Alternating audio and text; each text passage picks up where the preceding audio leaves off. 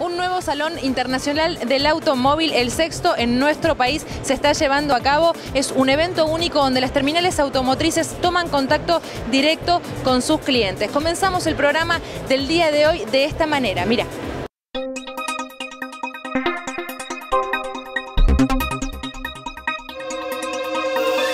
El sexto Salón Internacional del Automóvil de Buenos Aires comenzó con la jornada de prensa, donde se presentaron los principales modelos que llegarán en los próximos meses al mercado local. La muestra abierta al público en el predio ferial de la Rural en Palermo está dejando un saldo positivo en todos los conceptos que hacen al evento.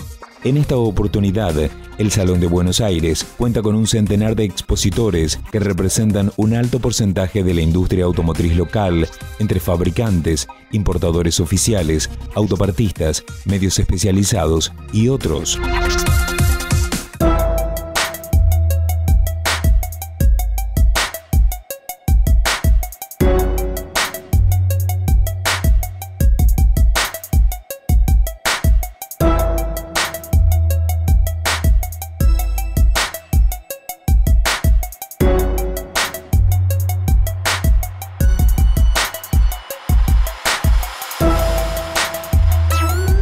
El Auto Show porteño integra el calendario de International Organization of Motor Vehicle Manufacturers, es decir, tiene relevancia y reconocimiento mundial.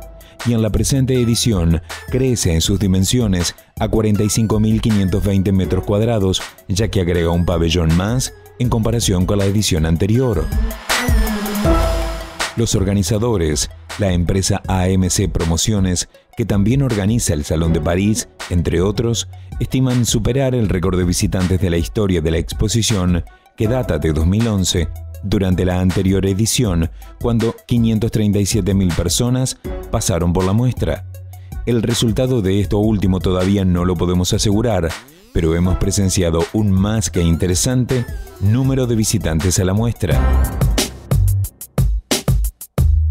El contexto, según Dossier, llega en un momento en que el alto índice inflacionario y las distintas opciones de financiación, sumado a un tipo de cambio desdoblado, favorece las ventas de vehículos de todas las gamas, incluso los superiores, que se comercializan en pesos, tomando como referencia el valor del dólar oficial.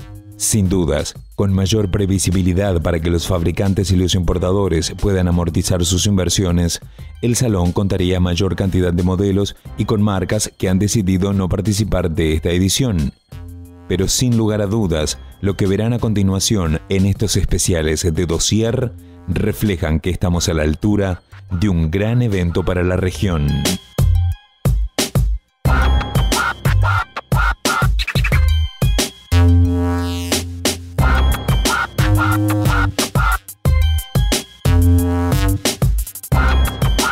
Bye.